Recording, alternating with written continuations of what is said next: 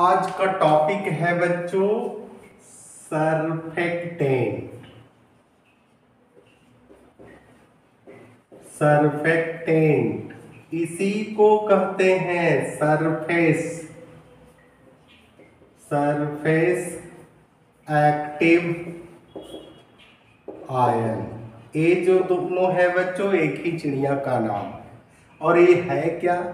तो कहता है कि कोई भी हाइड्रोकार्बन को अगर लेते हैं तो लंबा चेंज इसमें कार्बन हाइड्रोजन लंबा हो। जैसे एग्ज़ाम्पल के तौर पर हम लोग लेते हैं C fifteen H thirty one C O N A है इसका अगर नाम लिखेंगे तो इसका नाम हो जाएगा सोडियम अस्टियरेट सोडियम अस्टियरेट है ना? इसका डिसोसिएशन करते हैं। C fifteen H thirty one C O O N A है ना? एक्चुअली ये तो साल्ट है, इसका डिसोसिएशन होगा तो ये आ जाएगा C fifteen H thirty one C O O minus और एन ए प्लस अब बच्चों, देखना है कि इसमें भी दो पार्ट है। है ना? इसको ऐसे बनाते हैं। ए जो है सी ओ ओ माइनस है, जिसको बोलते हैं हम लोग पोलर पोलर या इसी को कहेंगे हाइड्रो हाइड्रो फीलिक लेकिन ये हेड पर है तो यहाँ कर दीजिए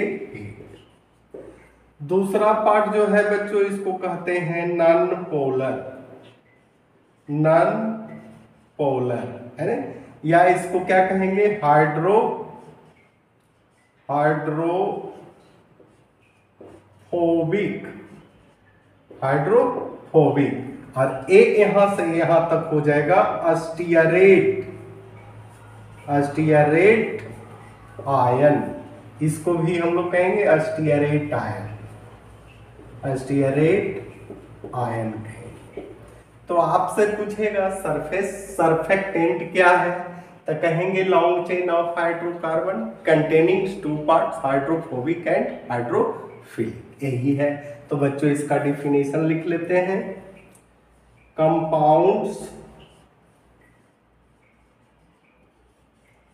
और ion having a long chain of hydrocarbon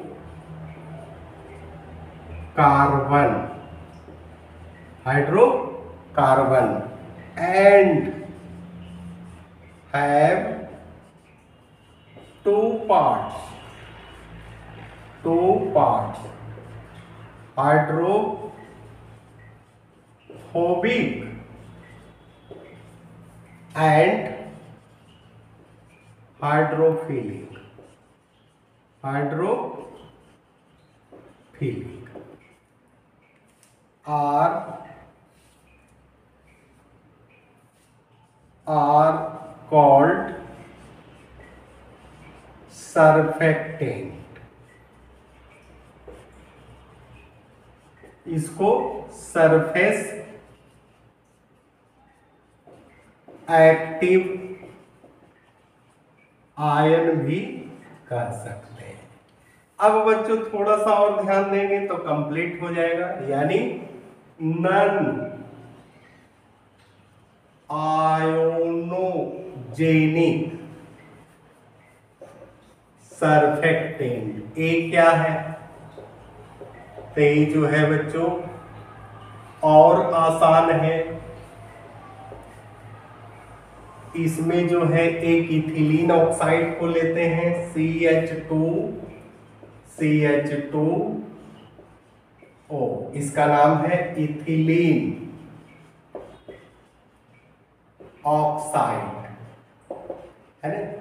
N मोल लेते हैं और इसको रिएक्ट करेंगे C N H two N plus one H यानी अल्कोहल, और वैसा अल्कोहल जिसका मास हाइयर ये दोनों को अगर मिलाते हैं, है ना, यहाँ ऐसे कर देते हैं। ये तरह का रिएक्शन होगा डैश दे इधर लिखेंगे तो ये हो जाएगा C N H two N plus one और यहाँ कर देंगे N O C H two C H two का यहाँ जो है, एन यहाँ नहीं कर दीजिए, है ना?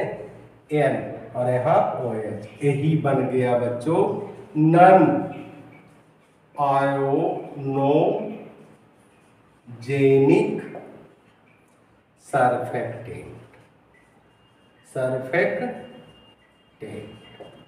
अब आपसे पूछेगा, है क्या? तो दोनों को कंबाइंड करेंगे, जो बनेगा, नन आयोनोजेनिक सरफेक्टेंट। तो यहाँ लिखते हैं इतना में ही लिखना है बच्चों क्योंकि इतना ही स्पेस आपका बचा हुआ है ना?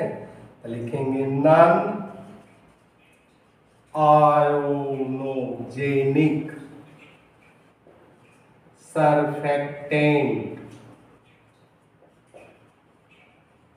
is form by ethylene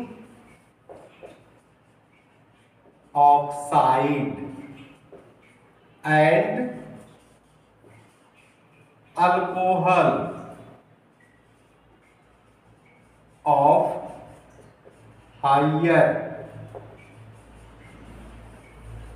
mass higher mass कहेंगे वैसा अल्कोहल जिसका मास क्या हो?